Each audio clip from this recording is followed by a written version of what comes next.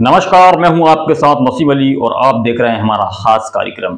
दिल्ली से भोपाल की यात्रा करने वाले लोगों का सफ़र 1 अप्रैल से और आसान होने जा रहा है। देश की सबसे तेज गति वाली वंदे भारत एक्सप्रेस ट्रेन अब इस रूट पर भी चलाई जाएगी। ये देश की ग्यारहवीं और एमपी की पहली वंदे भारत एक्सप्रेस ट्रेन भोपाल पहुँच चुकी है। ये ट्रेन रानी कमलापति स्टेशन से नई दिल्ली तक छह सौ चौरानवे किलोमीटर का सफ़र महज सात घंटे 45 मिनट में तय करेगी। रफ्तार के मामले में वंदे भारत का पिकअप बुलेट ट्रेन को टक्कर देता है। वंदे भारत बावन सेकंड में 100 की स्पीड पकड़ लेती है। इसकी हाई स्पीड 160 किलोमीटर प्रति घंटा है, लेकिन भोपाल से दिल्ली के बीच ये वानवे की स्पीड में ही दौड़ेगी। इसमें इतनी सुविधाएँ और तकनीक है कि आपका सफ़र शानदार हो जाएगा। लाइट पर टच करने से ये ऑन ऑफ़ होगी। आइए जानते हैं क्या क्या है और इसकी खूबी। पश्चिम मध्य रेल के शेड्यूल के मुताबिक सेमी हाई स्पीड ट्रेन 1 अप्रैल से पटरी पर दौड़ना शुरू कर देगी। प्रधानमंत्री नरेंद्र मोदी इसका उद्घाटन कर सकते हैं। वहीं आपको बता दें कि हमारी वंदे भारत अंदर से कैसी दिखाई देती है, क्या है इसकी खूबियाँ हैं? अभी इसका trial secretary Rani Kamalapati station से चल रहा है। वंदे भारत के मास्टरमाइंड सुधांशु मनी और चेन्नई स्थित एटिग्रॉल कोच फैक्ट्री के general manager Mallya B G भी बात की और इस ट्रेन की खूबियाँ बारे में जाना। 26 मार्च को रात 8 बजे एमपी पहुँची इस सेमी हाई स्पीड ट्रेन में कुल 16 कोच हैं। इसमें 14 एसी चेयर और दो एग्जीक्यूटिव क्लास कोच हैं। पूरी ट्रेन में कुल 1128 यात्री बैठ सकते हैं। ट्रेन का जिम्मा पश्चिम मध्य रेलवे के पास होगा। ट्रेन हफ़्ते में छह दिन चलेगी। शनिवार को बंद रहेगी। ये सुबह पाँच बजकर पचपन मिनट पर रानी कमलावती स्टेशन से रवाना होगी। बीना झांसी आगरा होते हुए दोपहर पौने दो बजे नई दिल्ली पहुंचेगी। आईसीएफ के पूर्व जीएम सुधांशु मनी ने बताया कि एमपी पहुँची इस सेमी हाई स्पीड ट्रेन में सुरक्षा का खास खास ख्याल रखा गया है।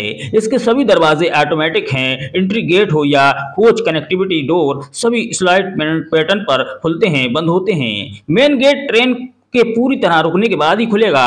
ट्रेन में जरा भी मूवमेंट है तो दरवाजे लॉक ही रहेंगे। ट्रेन की तकनीक और इसमें यूज़ किए गए सभी पार्ट्स मेड इन इंडिया हैं। दरवाजे और व्हील एक्सपोर्ट किए गए हैं। ट्रेन के ऐसे डिज़ाइन किया गया है कि स्पीड और रनिंग टाइम कंट्रोल किया जा सके।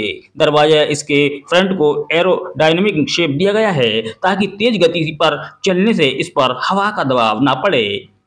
इससे ट्रेन की रनिंग टाइम में 10 से 15 सेकंड की बचत होती है। इस ट्रेन के में कवच तकनीक यानी ट्रेन कोलिजन अवॉइडेड सिस्टम का यूज़ किया गया है ताकि दो ट्रेनों के बीच भिड़ंत ना हो सके। इसमें एक लोको इंजन दूसरे लोको इंजन के सामने आने की स्थिति में 380 मीटर की दूरी पर ही रुक जाता है। सामने फाटक आने पर ये कवच ड्राइवर के बिना खुद ही सीटी सीटी बजाने शुरू कर देता है। वंदे भारत ट्रेन के हर कोच में लॉकजरी बायो, वैक्यूम, टॉयलेट बने हुए हैं। ये ऐसे टॉयलेट होते हैं कि जिसमें बैक्टीरिया के ज़रिए मल को पानी और गैस में बदल दिया जाता है। इसमें बेहद कम पानी यूज़ होता है। टॉयलेट के गेट भी ऑटोमेटिक हैं, जो टच करने पर मात्र से ही खुल जाते हैं। नल से लेकर हैंड ड्रायर तक सब सेंसर युक्त, यानी नल के नीचे हाथ लगाते ही पानी आने लगेगा और हाथ हटाते ही पानी बंद हो जाएगा।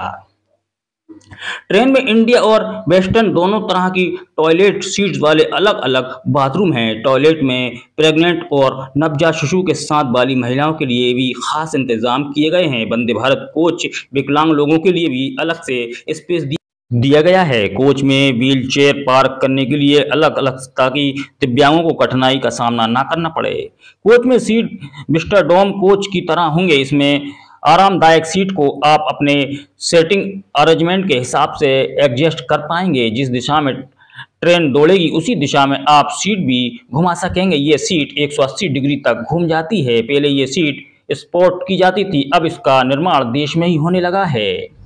ऐसे ही रोचक खबरें देखने के लिए हमारे चैनल को सब्सक्राइब करें, लाइक करें, शेयर करें और बेल आइकॉन ज़रूर दबाएँ ताकि हर न्यूज़ की अपडेट आप तक पहले से पहले पहुँचे।